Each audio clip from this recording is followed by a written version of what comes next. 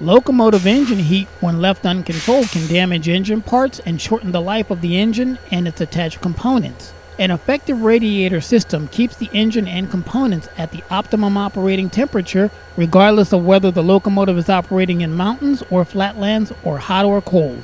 A locomotive radiator system primarily cools air, water, and oil. The air is used in the locomotive combustion process, the water for cooling the engine and turbo if it's equipped with one, and the oil for lubricating the engine components. The radiator system is intended to keep the engine operating at nearly the same temperature regardless of the ambient air outside of the locomotive. This allows maximum horsepower to be available at all times and extends the life of the engine and its lubricants. Electromotive diesel and General Electric differ in radiator system designs. EMD uses a wet radiator system in which fluid is cycled through the radiator system constantly while the engine is operating. GE, on the other hand, employs a dry system where fluids are routed through the radiator system only as conditions warrant.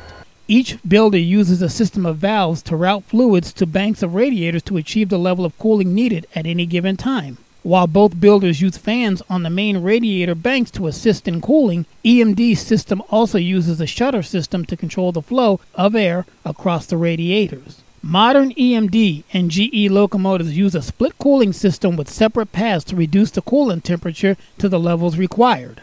In split cooling on a GE locomotive, a majority of the fluid cooled in the radiator is sent back to the locomotive at one temperature, while a portion of the coolant is routed through additional radiator banks called subcoolers or aftercoolers for further temperature reductions. Once passed through these additional cooling banks, the fluids travel to various devices, such as the air to water intercooler, to assist in cooling the engine intake air.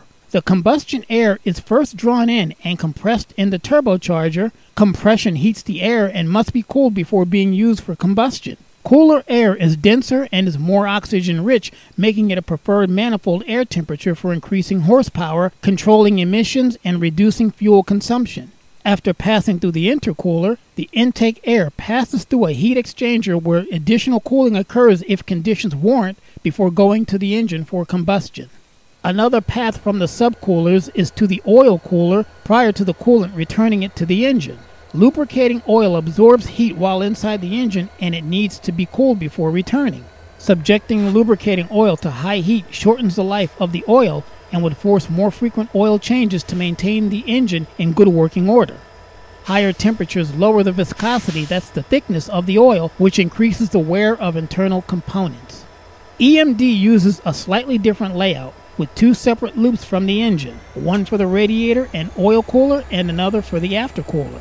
Various connections between the two loops allow the onboard computer to utilize excess cooling capacity in the aftercooler loop if needed.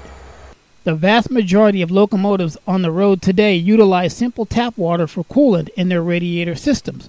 Water is much more efficient at transferring heat than a mix of water and antifreeze that's typically found in your car's radiator system. Benefits of using water allow the overall size of the radiator system to be smaller due to its higher efficiency, the lower cost of water compared to an antifreeze water mixture, and water's ubiquity. Any garden or water hose that can reach a locomotive can add fluid to the radiator system in a pinch. There are also environmental concerns with using antifreeze since the water system needs to be drained occasionally for maintenance. To keep the radiator system in top shape, a corrosion inhibitor is added to the water. This additive protects the system from developing rust, corrosion, and scaling.